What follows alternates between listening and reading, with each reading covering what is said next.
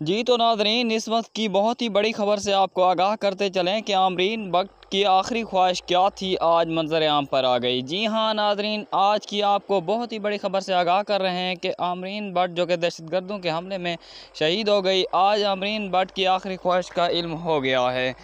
तो वीडियो शुरू करने से पहले हमारी गुजारिश है कि हमारे चैनल बेस्ट टॉप न्यूज़ को सब्सक्राइब कर दें, ताकि हर आने वाली वीडियो आप तक बर वक्त पहुँच सके। जी तो नाजरीन, जैसा कि आप सबकी, मेरी हर शख्स की कोई ना कोई ख्वाहिश ज़रूर होती है। इस तरह ज़रा से मालूम हुआ है कि अमरीन भट्ट की भी ख्वाहिश थी।